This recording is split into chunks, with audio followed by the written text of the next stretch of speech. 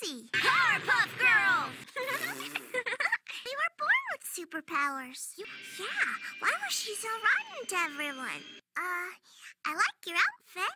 Oh, Bridget! Sorry, we're not really in the mood right now. Hey, I haven't seen Princess yet today.